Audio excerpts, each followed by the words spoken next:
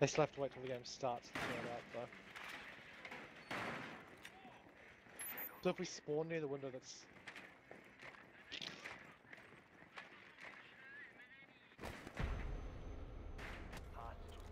Nice! Nice!